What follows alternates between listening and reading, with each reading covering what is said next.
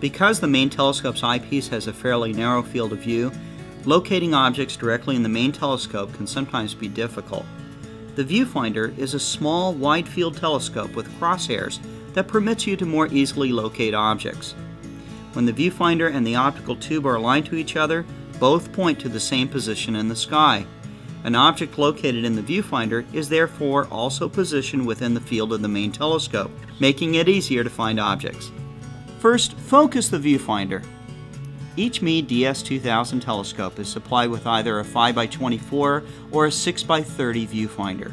Identify the viewfinder size from the gift box cover of your telescope. If you have a 5x24 viewfinder, turn the viewfinder eyepiece to focus the viewfinder. Generally, a few turns are sufficient to achieve proper focus. If you have a 6x30 viewfinder, loosen the focus lock ring a few turns, permitting the lens cell to be rotated. Look through the viewfinder eyepiece at a distant land object and rotate the lens cell until the object is sharply focused. Then tighten the focus lock ring. Objects appear upside down and reverse left or right when observed in the viewfinder. This is completely normal. If you have a refracting model, objects viewed through the main telescope's eyepiece with the diagonal in place appear right side up, but reverse left or right.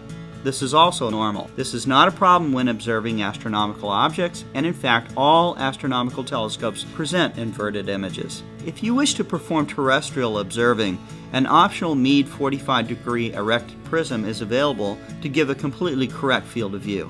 Note that if you have a reflecting model, no means of inverting the image is available.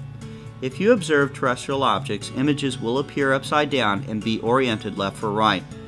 This is not a problem when observing astronomical objects.